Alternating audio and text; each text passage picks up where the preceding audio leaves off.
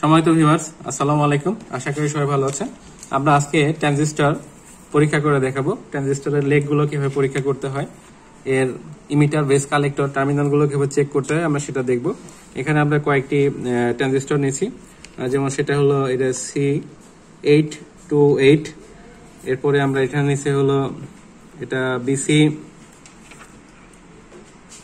BC five five eight তো এটা দেখেন যে বিসি পাঁচশো আটান্ন লেখা আছে। এরকম বিভিন্ন সিরিজে বিভিন্ন কিছু লেখা থাকে, পাঁচশো সাতচল্লিশ বা চারশো সাতচল্লিশ। সে এইটাই যে বি লেখা অর্থাৎ সিলিকন টাইপের তো আমরা এটা তিনটি লেগ কোনটা কমন কোনটা ইমিটার কোনটা বেস সেটা আমরা এখন টেস্ট করব। এটা হলো বিসি পাঁচশো আটান্ন অর্থাৎ ফাইভ ফাইভ এইট তো আমরা এটাকে রেখে দিচ্ছি। রেখে দিয়ে মিটারটা, এই যে আমাদের একটি এভোমিটার আছে, তো আমরা এভোমিটার দিয়ে এটা টেস্ট করব। তো এভোমিটারে দেখেন যে আমরা দুটো দুটো করে পার্ট নিব। অর্থাৎ মোট ছয়টি পার্ট নিব এভাবে ধরে ধরে।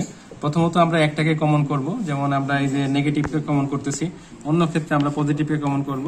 তো এখন দেখেন যে আমরা এই যে মিটার আমাদের একটা ডিজিটাল অ্যাবোমিটার নিচ্ছি।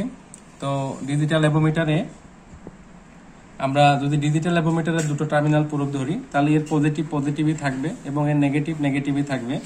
অ্যানালগ হলে কিন্তু তার বিপরীত হয়। অ্যানালগ হলে সেখানে যেটি লালটি সেটা নেগেটিভ ধরতে হয়, আর যেটি কালোটি সেটা পজিটিভ ধরতে হয়, বিশেষ করে শুধু ট্রানজিস্টর টেস্টের ক্ষেত্রে। যেহেতু আমরা এটা ডিজিটাল নিচ্ছি তাহলে লালটি পজিটিভ কালোটি নেগেটিভ হিসেবেই ধরবো। আর আমরা এখানে বিশ কেতে নিচ্ছি। আমরা এখানে ওহমে বিশ কে সিলেক্ট করছি। তো এখন আমরা এই ট্রানজিস্টরের লেগে ধরে ধরে পার্ট নিব। আমরা প্রথমত বেস শনাক্ত করতে, করব। তো বেস শনাক্তের জন্য কিন্তু ট্রানজিস্টর দুই দিকেই পার্ট দেবে, ঠিক আছে? তো দেখেন যে আমরা এই যে দুটো লেগে ধরলাম, কোনো পার্ট পাই নাই। আমরা প্রথমে দুটো শর্ট করে নিই যে আমাদের মিটার পার্ট দেয় কিনা। তো দেখেন যেটা পার্ট দিল না। এবার মাঝেরটার সাথে ধরলাম, আমরা পার্ট পেয়েছি। খালি একটা পার্ট পেয়েছি কিন্তু। আমরা এখানে মাঝখানে সরি, আমরা সাইডে লালটি কমন করছি। কমন করার পরে একটা পার্ট পেয়েছি। এবার আমরা মাঝেরটা কমন করব। কমন ধরার পরে আমরা দুই সাইডে ধরতেছি। পাট পাই নাই। এই সাইডে আমরা পাট পাই নাই। এবার আমরা এই লাস্টেরটাই ধরতেছি।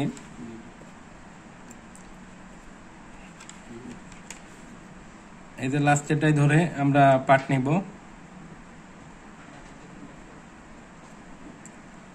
এখানে একটা পার্ট পেয়েছি। এরপরে যেহেতু আমরা দুটো কোনো সাইডে পাই নাই, আমরা এবার নেগেটিভটা ধরবো।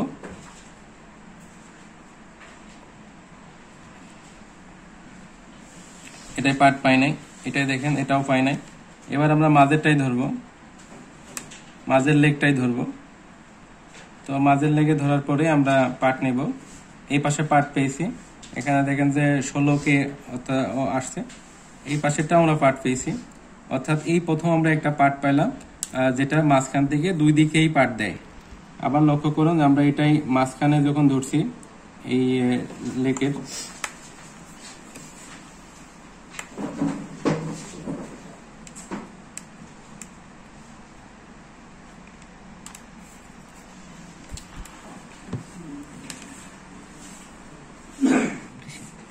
তো আমরা মাঝখানের সাথে দেখেন যে দুই দিকে নিলে এটাই পার্ট পাচ্ছে শুধু। তো এটাই আসলে বেস যেহেতু এটা দুই দিকে পার্ট পাইছি। আরেকটা পার্ট নিতে বাকি আছে, সেটা আমরা নেব। বাট এই মুহূর্তে আমরা বুঝে গেছি যে এটাই বেজ হবে। দুই দিকেই পার্ট পাচ্ছি এটা। কারণ এখানে কমন করছি, যেটা কমন করছি, এই যে কালোটি কমন হয়েছে মাঝে, তো এই টার্মিনালটি যেমন বেজ হয়েছে, আর এই কালোটি যেহেতু নেগেটিভ তাহলে এটা হলো নেগেটিভ অর্থাৎ এন টাইপের তাহলে এটা যেহেতু এন এন এর দুই পাশে আমরা দুটো পি বসালে তাহলে এটা হবে পি এন পি অর্থাৎ এখানে নেগেটিভ তাই এন নেগেটিভ হওয়ার কারণে এটা হলো নেগেটিভ এই জন্য এন টাইপ আর এর দুই পাশে দুটো লেগ হবে, একটা পি আর একটা হলো পি অর্থাৎ এই ট্রানজিস্টারটা হলো পিএনপি টাইপের ঠিক আছে? এখন আমরা এই মাঝখান থেকে কোন পার্টটা বেশি এবং কোন পার্টটা কম সেটা দেখব।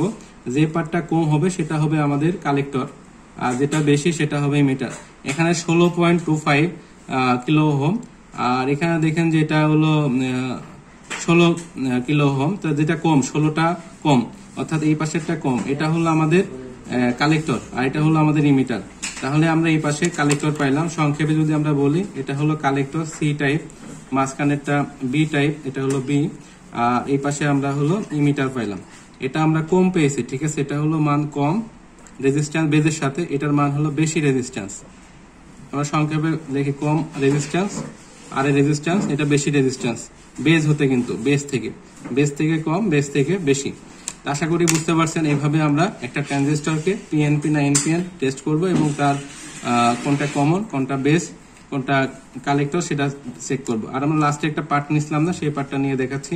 এখানেও কিন্তু ডাবল যদি কোনো ক্ষেত্রে পাই এদের কিন্তু কোনোটাই পাই নাই। তো ডাবল যদি বেজ হয়, তাহলে সেই ট্রানজিস্টর নষ্ট হবে। অর্থাৎ দুটো যদি বেজের মতো একই বেজ হতে পারে না একটা ট্রানজিস্টরে। তাই সবাইকে আমার ছোট ভিডিওটি দেখার জন্য ধন্যবাদ। আমাদের ভিডিও ভালো লাগে। এই ধরনের ভিডিও পাওয়ার জন্য চ্যানেলটি সাবস্ক্রাইব করুন, ভিডিওতে লাইক দিন, কমেন্টস করুন এবং শেয়ার করুন।